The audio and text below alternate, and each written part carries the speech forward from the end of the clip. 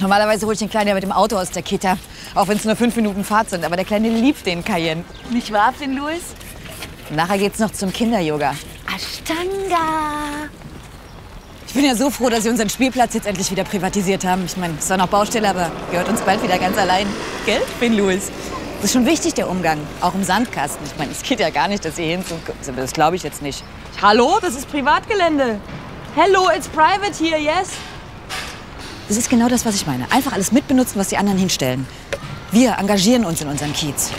Nächste Woche sind ja Schlösser dran. Ich meine, ich liebe mittlerweile Berlin, aber die Stadt braucht mal echte Strukturen.